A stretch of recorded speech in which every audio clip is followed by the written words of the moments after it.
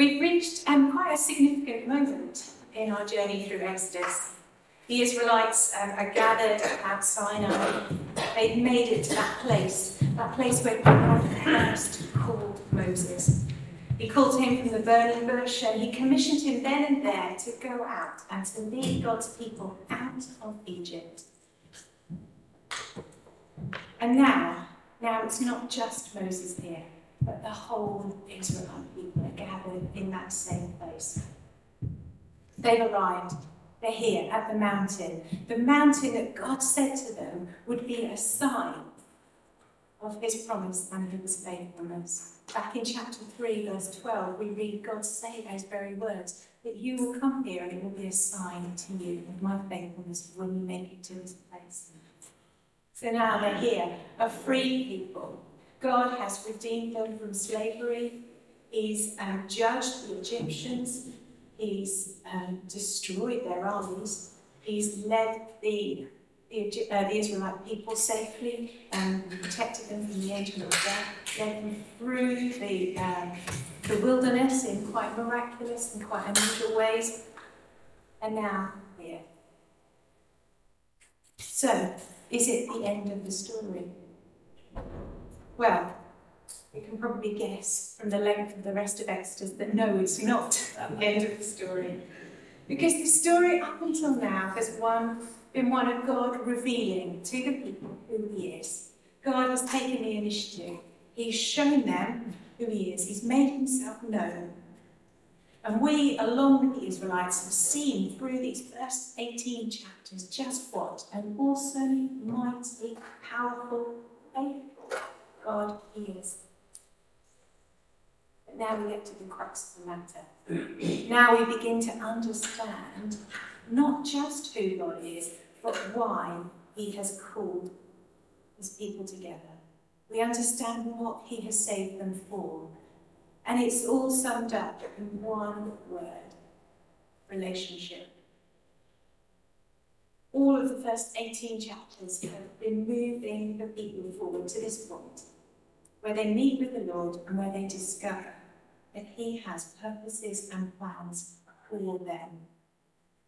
And our passage this morning is a little bit of a summary of what's happened, where they're at, and where they're going to be, what's going to happen next. So if you've got your Bibles with you, on the screen. Um, we're going to read. Um, our passage is actually chapter 19, verses 4 to 6, but just to put it in a little bit more context, I want to read um, from the, the chapter beginning, from verse 1. So, Exodus chapter 19, verses 1 starts like this. On the first day of the third month, after the Israelites left Egypt, on that very day, they came to the desert of Sinai. After they set out from Rephidim, they entered the desert of Sinai, and Israel camped there in the desert in front of the mountain. Then Moses went up to God, and the Lord called to him from the mountain and said, This is what you are said to say to the descendants of Jacob and what you are to tell the people of Israel. You yourselves have seen what I did to Egypt, how I carried you on eagle's wings and brought you to myself. Now, if you obey me fully and keep my covenant, then out of all nations you will be my treasured possession. Although the whole earth is mine, you will be for me a kingdom of priests, and a holy nation. These are the words you are to speak to the Israelites. Let's just pray. Lord God, we thank you for your word, for your story, for the way that you interact with us, your people. And Lord, we pray that as we read your word together and study it this morning, you would speak, Lord. we might be equipped to be people and the church that you would call us to be. Amen. So God has brought the Israelites out of Egypt to this place at this time because he's got something very important for them to do. He's called them together as a unique, as a people with a unique past, to be a people with a unique privilege, but because God has a unique purpose and plan for them. And what we have in these verses is a short summary of these things, the things that are going to form the basis and the detail of the covenant, the agreement that God makes with his people. And he sets it in place, I think, in these verses in three key ways. Firstly, by drawing their attention to their unique past, to what he has already done for them. And secondly, by establishing what he is asking of them in return. And then thirdly, by revealing what it is that he is going to do through them. And so we're going to look at each of those three things this morning what he has done for them, what he asks from them, and what he promises to do through them. And what he has done for them is salvation.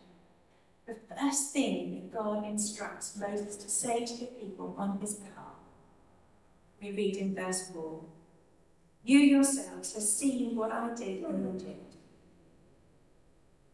They, as people, have been eyewitnesses to the most amazing evidence of God's power. First through plagues, and then through everything that happened as God led them out of Egypt. And it's vital for all that comes from now on that they see and they understand and they never forget just who it was that acted on their behalf. There is no other reason for them being here at this time and in this moment other than the action of God. God and God alone was the one who acted to bring them out of Egypt. They were totally powerless. Their 400 years of slavery proved to them just how powerless they were to help themselves. But God brought them out. God judged and destroyed their enemies, and He did it in such a way that they could be in no doubt as to who he was, as to the might and the power and utter grace of God. The rest of what God says and does from now on only makes sense if they start by understanding just who he is. But the verse goes on, doesn't it? God didn't just bring them out of Egypt, but it says I carried you on eagle's wings and I brought you to myself. There's a purpose, there's a plan, there's a direction of travel here. He brought them to himself. And the language that, um, that is used in Exodus is really intentional. It paints this picture of a, a stunning um, eagle. And it says that God is like an eagle. The Hebrew word is nesher, and the eagle would have been a well-known symbol because it was one of the gods that the Egyptians worshipped. An eagle is a magnificent bird of prey. It's got a long beak, it's got huge talons, and it's got a wide, wide wingspan. It's able to soar to high heights. It's hugely protective. It's a bird of prey. It will stop at nothing to protect its young. And these eagles build their nests really high up in the mountain in rocky crevices, far away from the things that might damage them and hurt them, but inaccessible. So those eaglets in their nest are totally dependent on the parent birds for their food, for their sustenance, for their security. And unlike most of the birds, eaglets mature quite slowly. And it takes them about three years, I think, some of them. But when they're ready to fly, the mother bird teaches them to fly in quite an unusual way. It takes them to the edge of the nest and it pushes them out. And of course they can't fly, so they plummet like a stone towards the ground. But thankfully, before disaster hits, the mother bird swoops in and it catches the little and it rescues it and pops it on its wings and it takes it back up to the nest. And it does this repeatedly, and every time the little bird gets a little bit more used to the feeling of the wind underneath them and begins to learn what it is to fly for themselves. And this is the picture that God paints of him rescuing the Egyptians. He said, I swooped in, I carried you on eagle's wings, and I've taken out of that place of danger. our family um, really quite enjoy going to the cinema. Charlie's birthday last week. Um, but years and years ago, Gareth and I remember going to, um, to watch Fellowship of the Rings so that we would get the full benefit of the big screen experience for that dramatic film. And those of you who are Lord of the Rings fans might remember there's a scene in the Fellowship of the Ring where Gandalf is trapped on the top of the Tower of Orthanc um, by Sauron. And, and a duel, a fight um, ensues. And it looks like um, Gandalf is going to lose. Saruman towers over him and he demands that uh, Gandalf embrace the darkness and give up. And Gandalf replies, There is only one Lord of the Rings, and he does not share power. And then he falls off the edge of this huge tower and plummeting towards the ground, and it looks like all hope is lost. And then giant golden eagle sweeps in, catches him on his back, and carries him up to safety. And I'm fairly certain that Tolkien wrote that scene with this passage in Exodus in his mind. Because it's the same image, isn't it? A golden eagle being sent as a beacon of hope and rescue. And in the wilderness, the, the Israelites learn what it is to be cared for They learn that God rescued them. At times their journey feels perilous, feels dangerous. Many times they cry out to God for rescue.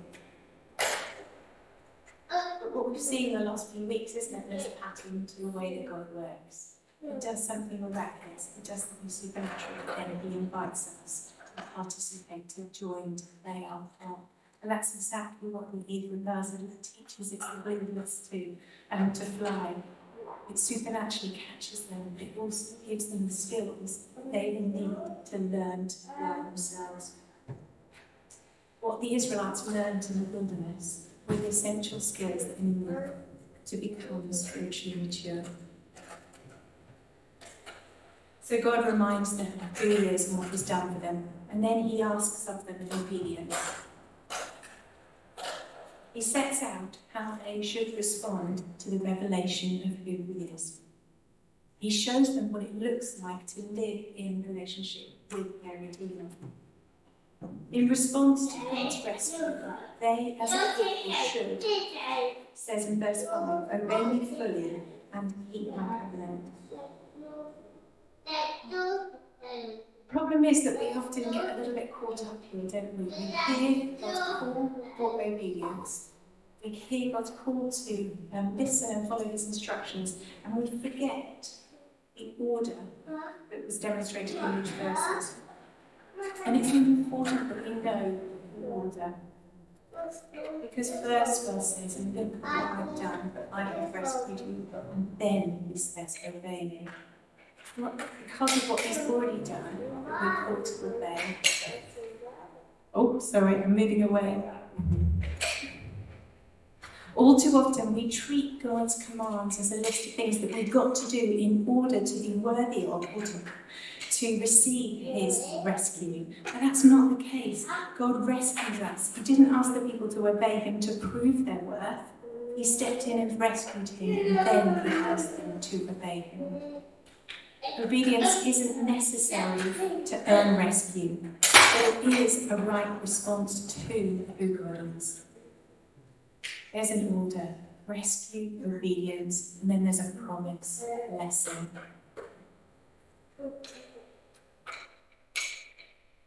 Trouble is, we don't like the sound of the word obedience, do we?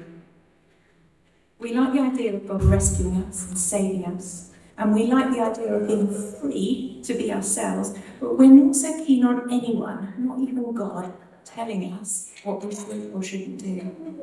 But I think what we miss when we think like this is that God's commands are good. He knows what is best for us, and He knows what will help us flourish. So the commands that He asks us to keep aren't designed to restrict or to inhibit us, but they are designed because when we work and live and behave in that kind of way, then we and those around us will flourish. But it's not all about us. And I think the bigger thing that we need to grasp is that relationship with God is a privilege, but it is not a relationship of equals. He is Almighty God. He is the creator of heaven and earth. All that we are and have is because of him. He is the giver and sustainer of all things. He is above all things, beyond all things, before all things, and will be after all things. He is the Lord. And as it rightly says in our passage, all of the earth is mine. Obedience is simply a sign that we love and respect and recognize who God is. We should be so blown away by the fact that Almighty God invites us to draw close to Him, but we want nothing more than to behave and to live in a way that honours the privilege of that invitation. Obedience should be a tangible sign that we get who God is, that we respect His wisdom, that we fully appreciate what He has done. Obedience should be visible proof of our love for God. And later in the Bible, we see this same principle how it worked um, as part of a different, a fuller, more complete covenant, one that we are invited into now. As John, as Jesus himself says in John 14, verse 15, quite simply to his disciples, If you love me, obey my commandments. And later in John's epistles, we read that obeying God's commands show that we love him. And it says also that these commands are not designed to be burdensome. God's instructions are always given because of who He is and they're designed for good. So then He promises that through what He's already done what He um, has asked of us, there will be blessing. It doesn't finish there. There's more to that order that we mentioned before. It begins with the saving act of God. Then comes the response of obedience, and that's followed by a promise of blessing a blessing that is manifest in the identity it gives to those who obey and to the purpose that they get to participate, to share in. Verses 5 and 6 said, If you fully obey me and keep my covenant, then out of all nations you will be my treasured possessions. Although the whole earth is mine, you will be for me a kingdom of priests and a holy nation. There are some wonderful promises wrapped up in that if and then. The first blessing that God attaches to us, to that obedience, is that they will be a treasured possession. He's already shown them that they're special by drawing them out, by rescuing them. Now he says, I want you to obey me, that so you keep those channels of relationship open, so that you get to love me and I get to love you in the fullness of that. We can treasure one another. When we were growing up, my dad would call me and my sisters treasure, so that we would know that we were really special to him. A little bit younger than I am. Um, he still calls me treasure, but now he also calls my children treasure too, because they also are precious. They are also part of that family relationship. And this same term of endearment is what God calls us who love Him, who obey Him, who are faithful to Him. He looks at you and He says, You are my treasure. So God's first purpose in rescuing them is that they would find their identity in Him as treasured possession. Here we are in the middle of the desert. God looks down on this bedraggled, dirty, dispossessed load of refugees without a land or a home, and He says to them, You are my treasured possession. He goes on, there's more. Their identity isn't just found in who they are or whose they are, but in what they are supposed to be together. Four short words in the original Hebrew, but ones that have such giant meaning. They are called out of Egypt, out of that place of slavery and downtrodden um, exploitation, to be a kingdom of priests a holy nation. Effectively, this is a mission statement for who the people of God are meant to be. It's a simple, short, but profoundly challenging mission statement. The idea of priests was quite well known. All of the local religions or kingdoms would have had priests, but they would have had priests, one, maybe a group of people who were set aside to be the mediators between God and the people. They were meant to represent God to the people and represent the people to God. They were the ones who were set aside and um, given the task of listening to and discerning what God was saying and doing and instructing the people in following and worshipping God. But after God's revelation to Moses on the mountain, God gives his instructions to Moses. And he extends the role of priests from one person to one whole nation. He says, All of you together are going to be that and priests have, take on that priestly role. You collectively now have the responsibility not just to, um, to know about me, but to know me. I'm going to give you my law so that you can see what I'm like. We all have access to it.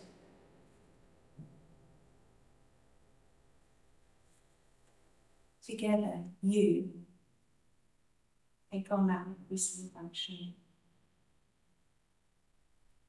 God's purpose, setting him apart as a, a kingdom of priests and a holy nation, has always been part of his much bigger picture. It was designed so that they, together, would be a blessing to all nations. They're called to be a kingdom of priests with special access to God, special ministry before God, who reveal and represent God to everyone around them. They're also called to be a holy nation, to be different, to be distinct, to be separate from those around them. God Himself is holy, and holiness describes a separateness, a difference, an otherness to all created things it carries with it a sense of goodness and purity and beauty and wonder. And God calls his people together as a people who will be likewise distinct and separate, set aside. He calls them to live out their lives together in a way that establishes um, a society that is distinctive. They should, by the way that they behave, reveal God not just amongst themselves, but as a window to the world. He wants his presence and his character and his nature to inform and to transform every aspect of who they are publicly. And the reality is that this should challenge us, shouldn't it?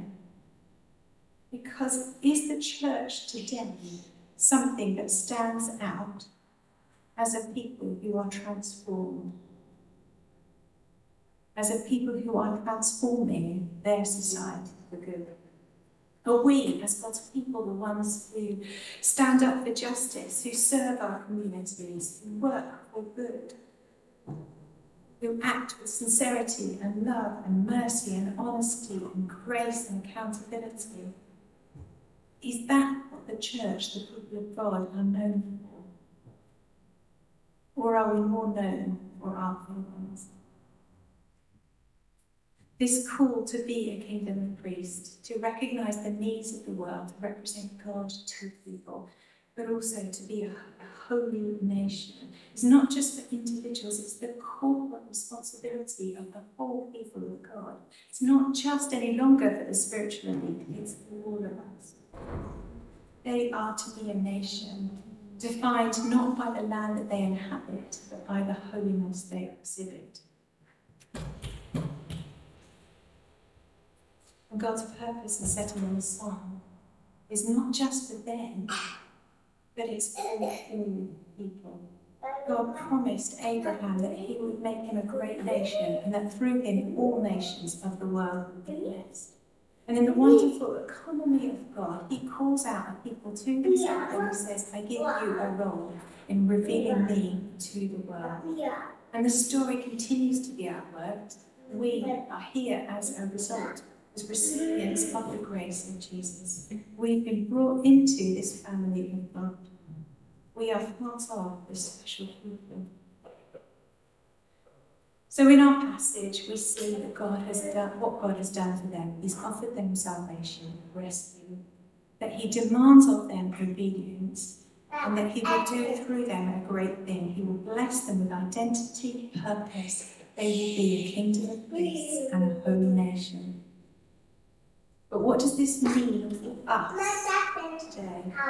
Well, the principles laid down in the story should speak loudly to us of our role and calling. God's intention for his people, those who are called by him, remains the same. But our story is much more complete. We know his salvation, not partially from the slavery of Egypt, totally and fully, perfectly in the person of Jesus. And grasping the enormity of this should change who we are and the lives that we lead. But receiving his salvation, recognizing his work, demands a response, demands a change in who we are and how we live. We know that we are called together, rescued for a purpose. Our identity as God's treasured possessions, as precious children, holy and holy gives us a unique status and a unique assurance. 1 Peter 2, verse 9 says of us, You are a chosen people, a royal priesthood, a holy nation. You are God's special possession. You may declare the praises of Him who called you out of darkness into His wonderful. We are God's chosen people. We are that royal priesthood. And just like the Israelites, we are called to live as a people who reflect His glory. As a kingdom of priests, we have a responsibility to pray for, to intercede on behalf of, and to proclaim God into our world, to those around us. As a holy nation, we are called to be distinctive, to embody kingdom values in who we are, individually and corporately, so that what we do reveals Jesus to the world. Holiness is by its very nature evangelistic. It's always been God's intention that the quality of his people, the distinctive lives that they lead, and the way that they reflect his character should enable the watching world to see evidently, in tangible ways, the reality of his gospel. It's holiness, it's the otherness of us collectively in our ordinary, individual, everyday lives that should point people to Jesus and should make a difference in the world and society. So as we go into this week, know your calling, know what God has done, know your identity, but know that you have a purpose, that you are called to play your part in being that holy nation, that kingdom of priests, those people who make a difference. Let's pray.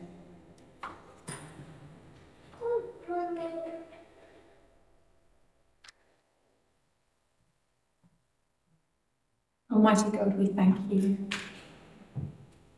that you have made yourself known, that we are able to know you. We thank you for the great privilege that it is to know you as Father, to know that you love and treasure us, that you look upon us and see your beloved children Thank you that what you require of us is for our good. And Lord, we recognize that there are many areas of our lives where we do not obey you fully, where we have not written your laws upon our hearts, where we have not allowed your Holy Spirit to be at work in us. Father, where there are things that we need to, to lay down, to say sorry for, or to change. We ask for the conviction of your Spirit. And Lord, I pray that you would help us to be that distinctive holy people that care about the world, that live lives that honour you. May we be committed to see your kingdom values rooted into our society. Lord Jesus, may your kingdom come in us. Amen.